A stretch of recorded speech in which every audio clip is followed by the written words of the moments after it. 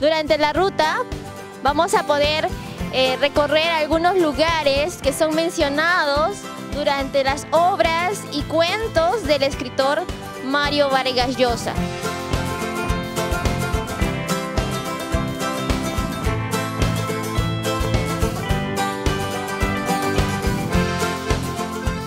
Lo que vamos a encontrar aquí es un podio donde vamos a poder leer un fragmento de la obra Conversación en la Catedral, obra que fue escrita en el año 1969.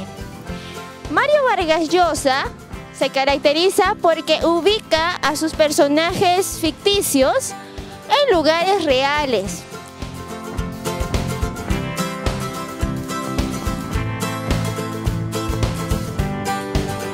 La avenida Diagonal desembocaba en una pequeña quebrada que se bifurca por un lado, serpentea el malecón, asfaltado y lustroso. La avenida Diagonal es el que se encuentra a su mano derecha. Esta es la antigua avenida Diagonal que ahora se llama Oscar R. Benavides.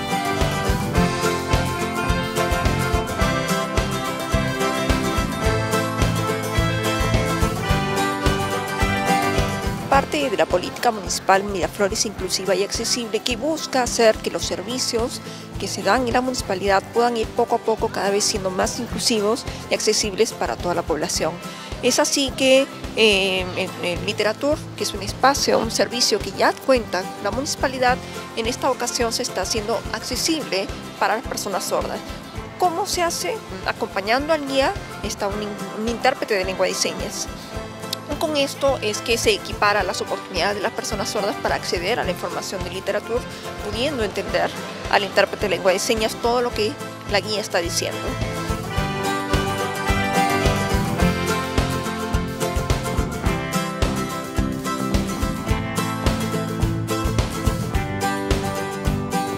Como Mario Vargas Llosa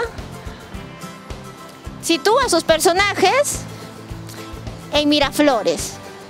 Él se inspiró en Miraflores para escribir muchas obras y novelas.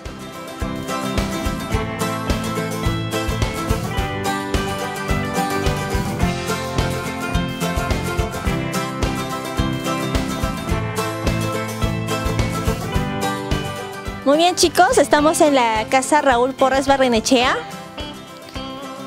Él vivió aquí cerca de 40 años, desde el año 1920 hasta el año 1960, año en que él muere. Él fue maestro de Mario Vargas Llosa. Él trabajó aquí en esta casa durante cinco años.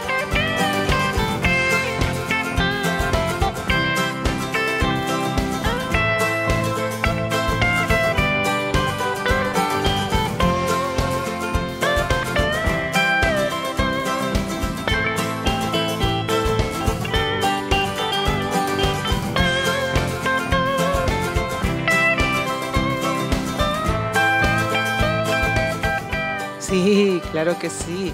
Es muy interesante, me gusta mucho aprender, conocer de todo. No, no conocía nada. Primera vez que he tenido la oportunidad de venir y aprender y tener conocimiento. ¿no? Para nosotros los sordos es muy importante este tipo de información, el poder aprender mucho más. Bueno, yo agradezco mucho a la municipalidad por permitirnos a nosotros disfrutar de esto tan importante. Agradezco mucho al alcalde de Miraflores porque he podido venir y aprender mucho en esta casa. Gracias.